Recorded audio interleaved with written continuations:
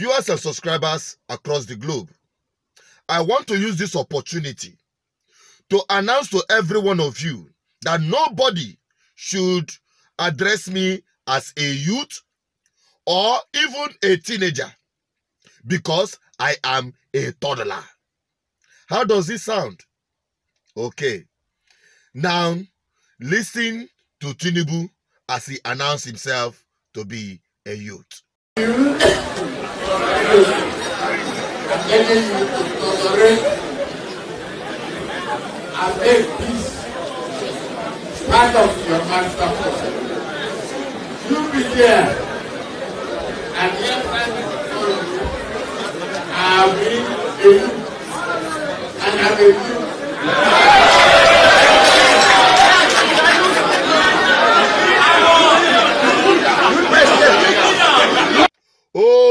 Wonderful. Now you now realize why you must not address me as youth.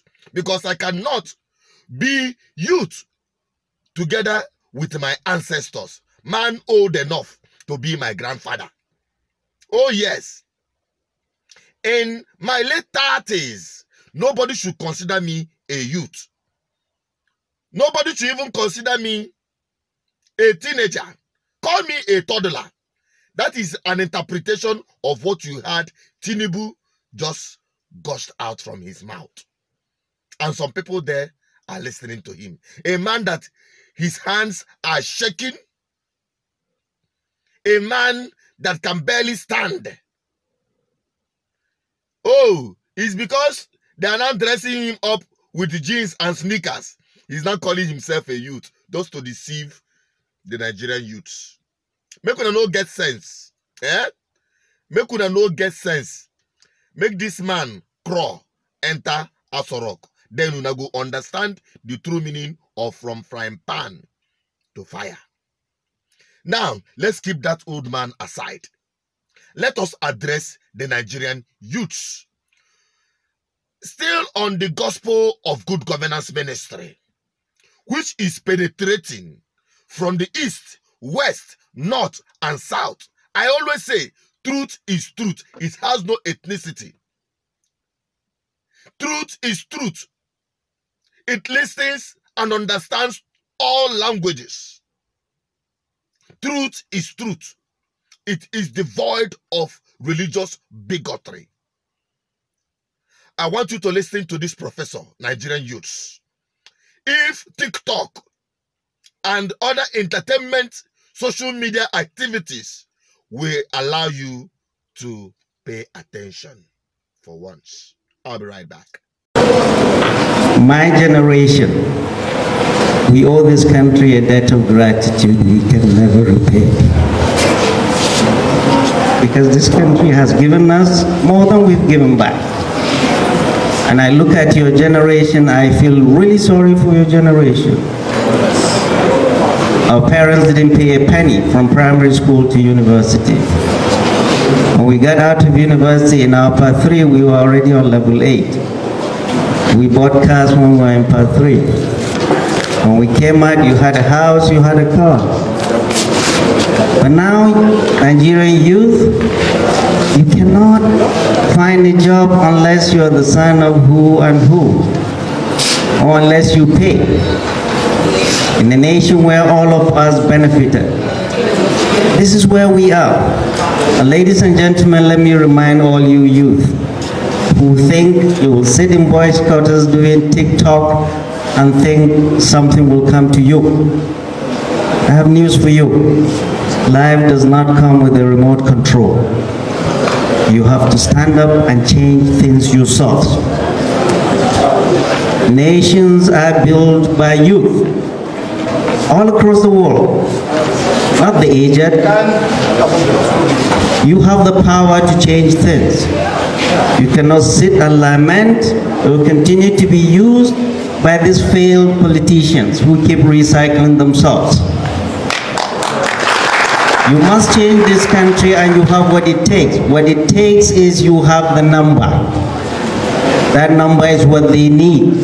2023, they will come to you and give you money to either be thugs or to be at their polling station. And after that, you'll never see them again. Don't let them use you. Use them instead. This is what I say, ladies and gentlemen, use your PVCs to flush bandits out of government. Because there are lots of bandits in government. Those who do not care about us. Ladies and gentlemen, I'm old enough to have seen 13 administrations in this country. From that of General Gowon, when we were in secondary school, to the current administration of President Muhammadu Buhari.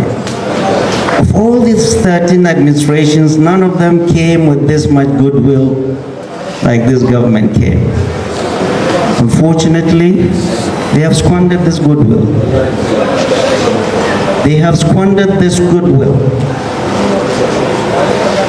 Arrogance,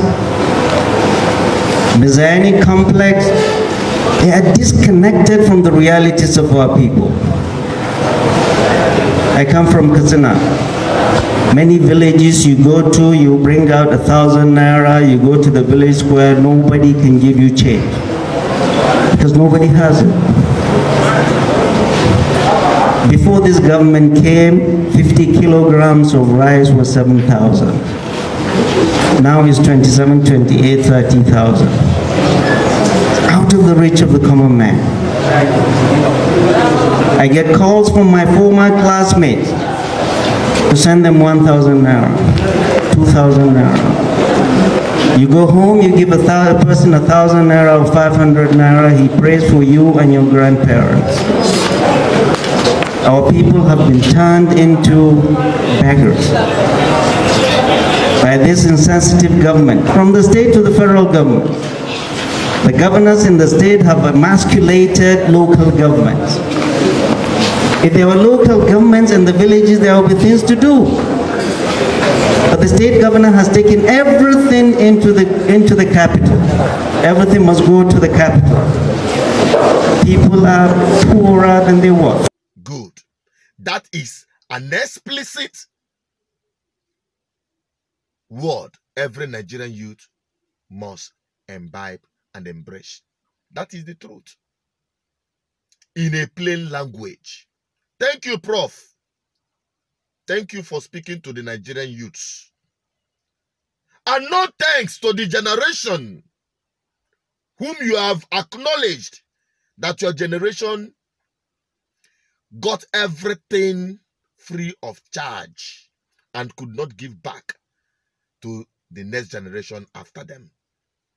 The generation of the crop of political leaders you have in Nigeria, who are called political leaders, the political misleaders you have in Nigeria today. No thanks to them. These men, they had free education. They went to public schools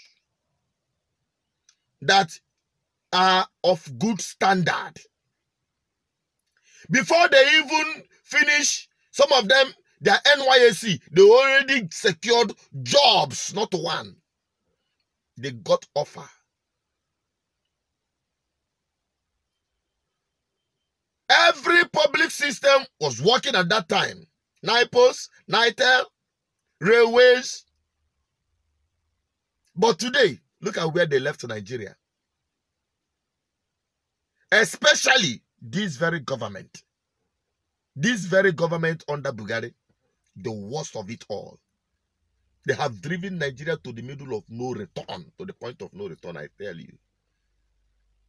While Nigerian youths are busy wasting their time, believing that their social media activity, their all, all of those things are good, though, but will that solve your problem? I believe with this, Nigerian youths, your eyes are waking up, your senses are beginning to realize this truth. Oh, yes. And there is nothing much I can add to it. All I can tell you, Nigerian youth, is to embrace the gospel of good governance ministry. The only political ministry you can find anywhere around the world. Waking up the consciousness of the people, beginning with Nigerians, the Nigerian youth especially, to understand hmm, that the Nigeria as it is today has been skewed have been organized, have been mortgaged, and your future alongside with it. It will take it and you have no future. As much as this country do not have any future, what is the solution? Identify the right people. A third force. Outside, the recycled old politicians never do well because they recycle themselves. Anyone that have tested the forbidden fruit of the Nigerian political space, the corrupt system of Nigeria, do not deserve your vote or your support. Especially those who are not even participating at all. It is high time you get on board. Stop complaining. Stop lamenting. If you throw out job opportunities, you see millions of unemployed Nigerian youths scrabbling for few jobs because you have That's mentally retarded political leaders, people that cannot solve a single problem as your leaders. They can't create jobs, they can't create opportunities for you to thrive and expand or explore your potential. Nigerian youths, it's better you wake up. 2023 is around the corner, it's almost too late. It is either you make a choice and make a stand against every of this political class that have been within the corridors of power. They have all failed you. There are very just few exceptional ones. Very, very few exceptional ones. Identify them, support them, or else it will be from frying pan to fire. I know you will not share this video, but the truth must be spoken. Those who can, please do share let others get to know about this truth. I've just delivered the message. I'm just a voice. The voice of the people, the voice of God, and the voice of our ancestors. I believe Nigerians will get sense this time. I'm signing out. Drop your comment. Let me have your opinion. And don't forget to subscribe. Bye bye.